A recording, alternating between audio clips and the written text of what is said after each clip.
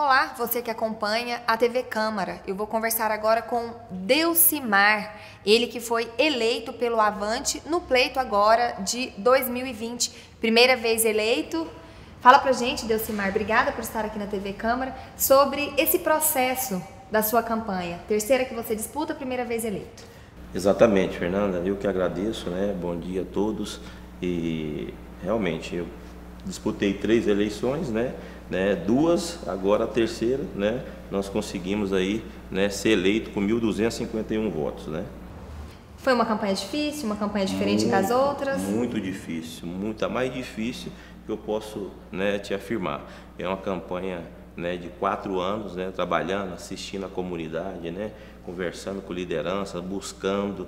Né. A campanha para vereador, na verdade, ela é a mais difícil que, difícil que tem, né, Fernando?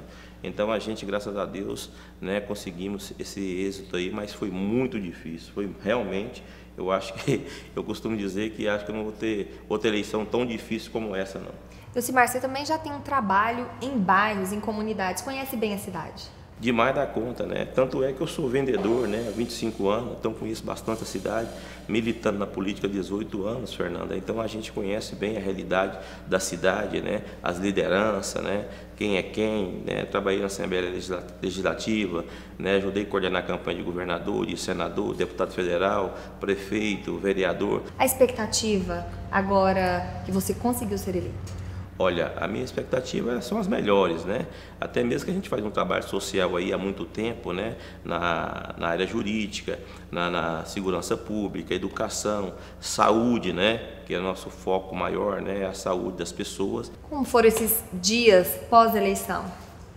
Vai tranquilo, né? Agora, né, a gente fica leve como uma pluma, né?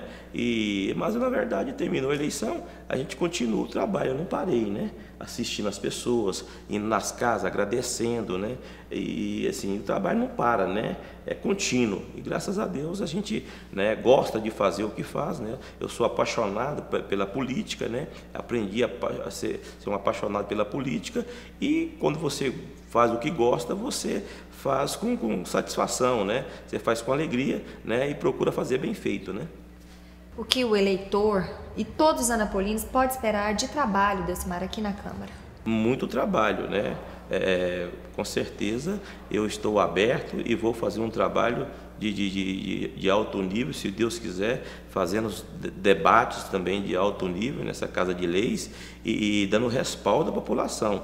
Né? Eu tive 1.251 votos, mas o vereador ele não vai legislar pelos votos que ele teve, ele vai legislar para a cidade num todo. Né? Elcimar, nessa sua busca pelo voto, pela cidade, é, o que o eleitor espera dos vereadores que o elegeram? O que eles cobram, o que eles pedem? Muito trabalho, né? transparência, é, a, a, população ela está mal assistida, né?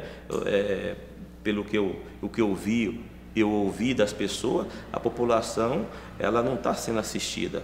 Então, o que nós precisamos de fazer é, é, é, ir até as pessoas em loco, né, aos bairros. Né? Eu mesmo eu quero fazer um trabalho diferenciado nos bairros, visitando, buscando as demandas. É, eu vou formatar uma equipe né, à altura para estar tá me ajudando a buscar as demandas, né, para a gente fazer o requerimento, ofício, cobrar do, do prefeito, do secretariado, a execução dos trabalhos, né, dando satisfação, fazendo acontecer. Né.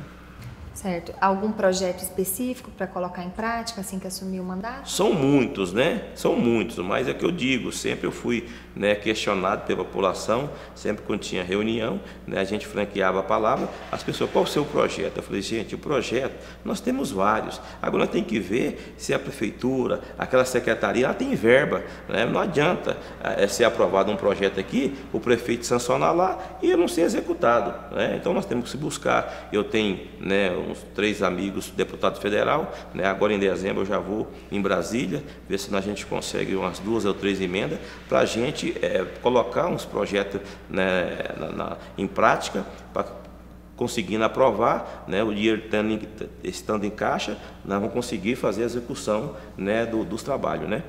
Lucimar, te agradeço pela sua participação aqui na Câmara, parabéns pela eleição e seja bem-vindo aqui à Câmara. Eu quem agradeço, Fernanda, estou à disposição né, de vocês, da imprensa, da população, né, pode procurar o Delcimar Fortunato, o, o, meu gabinete vai estar à disposição, né, o, o meu número de celular é 91358388, o salário que nós, nós vamos ganhar aqui na Câmara é para representar você, eleitor, eu estou à disposição.